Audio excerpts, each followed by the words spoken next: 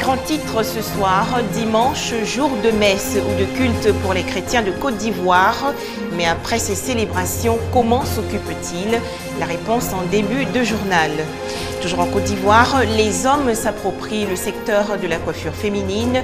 Comment expliquer cette réalité? Quel regard la société ivoirienne porte-t-elle sur ce phénomène? On en parlera largement dans le dossier du dimanche. Enfin, en Égypte, des milliers de personnes rassemblées aujourd'hui au Caire pour exiger le départ du président Mohamed Morsi. Bonsoir à tous et soyez les bienvenus sur ce plateau pour suivre le dernier journal de RTI 2. C'est aujourd'hui dimanche, communément appelé par les chrétiens jour du Seigneur et donc consacré à la messe chez les catholiques ou au culte chez les protestants, deux cérémonies pour célébrer et adorer Dieu selon bien sûr les principes bibliques. Alors dès la fin de ces célébrations, le reste de la journée du dimanche est réservé à d'autres activités, notamment la cuisine pour certains, le repos en famille, la détente à Bassam ou à Mondoukou pour d'autres. Notre reporter Grace Kando a visité quelques familles dans le district d'Abidjan. Nous la retrouvons maintenant. Dimanche, jour du Seigneur pour les chrétiens, à cette occasion, église et temple ne désemplissent pas. Je suis venue ce matin avec euh, mes petits-enfants prier mon Dieu parce que c'est lui qui est au centre de la vie de tout homme. C'est le jour de la sanctification de tout chrétien. Je viens de l'église comme ça, j'ai prié pour la Côte d'Ivoire. Comme Dieu lui-même a mis sa main dessus, tout, ce qu'il a mis la main dessus, il faut que ça passe tout normalement, comme, comme il veut. Après les prières dans les différents lieux de culte, place aux tâches quotidiennes. Chez la famille Coutouin, l'on s'active à la cuisine, plat du jour, le foutou à la sauce graine. C'est un jour de Dieu. On allait rendre grâce au Seigneur pour ses bienfaits. Et Dieu merci, on est sorti, arrivé à la maison. en train de faire un petit repas pour le chef de famille. Le maître des lieux, Amédée, s'occupe de l'entretien des fleurs et cette tâche terminée, un moment de détente devant le poste téléviseur. Bon, le dimanche, je ne fais que faire des lectures, lire, puis regarder la télévision, écouter la musique, voilà, et puis après aller se reposer après le repas. Dans cette autre famille, les Badji, le dimanche est mis à profit. Visite de parents, ménage et séances d'études sont au programme. J'ai reçu la visite de mon petit frère. Il était au village, il est venu me faire le point. Donc euh, on est ensemble en famille ce dimanche, en train de causer de, de ce qu'il a vécu au village là-bas. Demain, j'ai cours d'économie, euh, fiscalité et puis marketing. Donc ce sont ces cours-là que je vais, je vais réviser. Une journée bien remplie et au final pas de repos. Mais quelquefois se rattraper tout de même pour mieux aborder la semaine. Voilà donc euh, pour les activités des Ivoiriens après la messe ou le culte du dimanche. On va maintenant retrouver une autre réalité, les quartiers précaires de la commune de Koumassi. Et justement, dans le cadre de la rénovation de ces quartiers, le maire Raymond Ndoyapi a rencontré les populations de Koumassi, les différentes associations et responsables politiques. On reste avec Grace Kando. Voirie dégradée, infrastructures hôtelières en ruine, des sites touristiques qui ne reçoivent presque plus de visiteurs. Nous sommes dans la région du Boclet, sud-ouest de la Côte d'Ivoire. Dans cette région côtière, le développement ne semble pas presser les pas. La pêche, une des activités principales de la population, se pratique encore de façon artisanale. À cela s'ajoute l'insuffisance des centres de santé, d'écoles et un accès difficile à l'eau potable. Il y a donc beaucoup à faire et à refaire dans la région. Et le ministre Philippe Légré, aujourd'hui président du conseil régional du Boclet, en est convaincu. Aujourd'hui, nos petites personnes doivent être mises derrière et la région devant. Faire en sorte que les conditions de vie des populations de la région du Boclet, c'est-à-dire nos parents, et bien que ces conditions de vie-là soient améliorées. Parce que nous avons plus de 20 ans de retard. Et lorsque vous parcourez toute la région, eh bien, elle fait pitié. Dans la dynamique, l'équipe du conseil régional ne sera pas seule à faire revivre la région.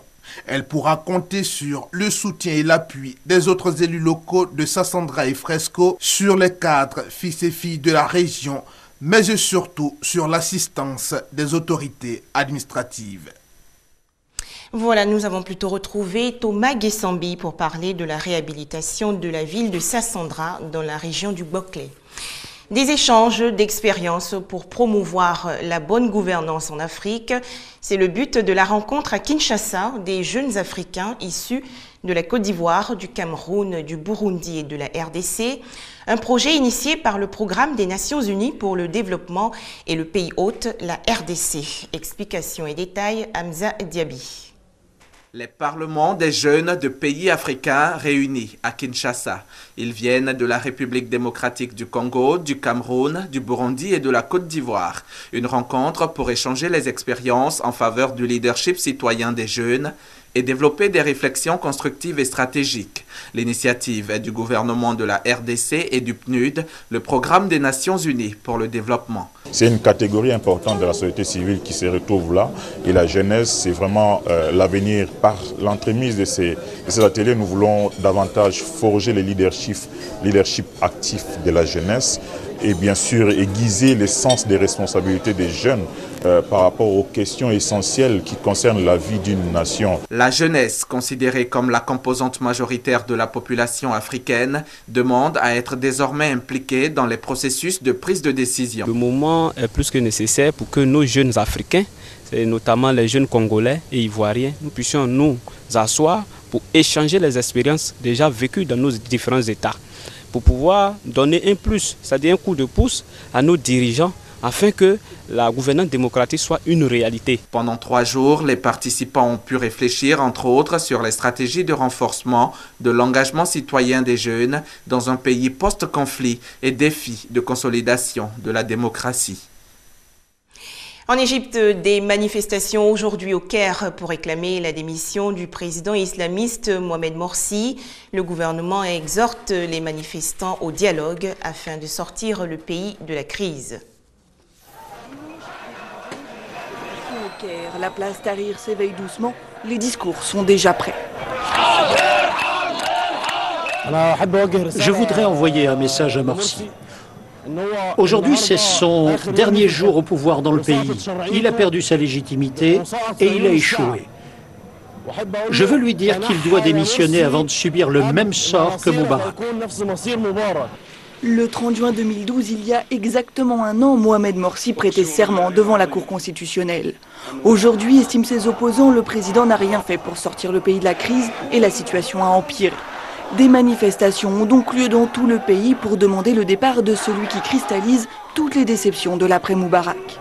Place Tahrir, des milliers de manifestants réclament une deuxième révolution et ressortent les slogans employés il y a plus de deux ans Le peuple veut la chute du régime. Nous l'avons élu pour qu'il amène la sécurité, pour qu'il nous fournisse de la nourriture, de l'électricité, du pétrole et ce genre de choses, nos besoins de base. Mais après un an au pouvoir et plusieurs années après la révolution, il n'a rien fait. Donc nous devons faire tomber tous les frères musulmans, pas seulement Morsi. Le cortège des opposants au Caire doit se rendre jusqu'au palais présidentiel et passer tout près de Nasser City, le quartier où sont réunis les partisans de Mohamed Morsi.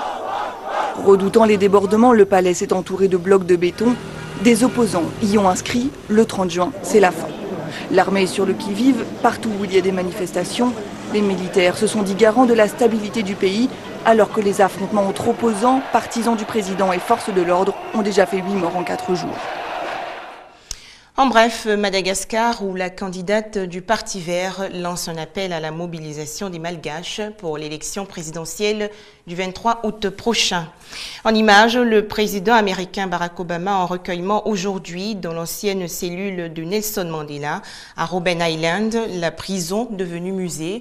Le chef de l'État américain a appelé la jeunesse africaine à s'inspirer du père de la nation sud-africaine hospitalisé entre la vie et la mort.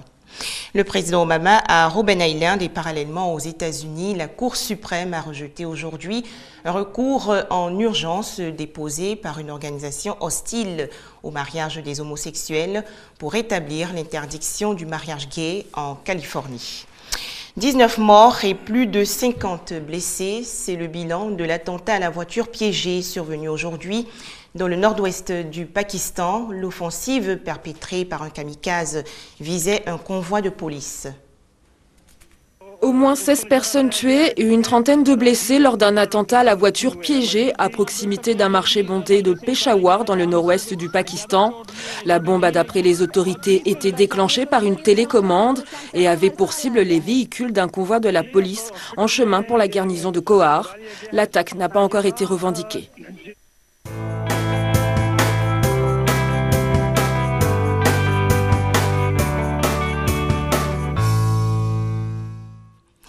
Ils sont nombreux à investir euh, le secteur de la coiffure féminine en Côte d'Ivoire, activité longtemps réservée aux femmes.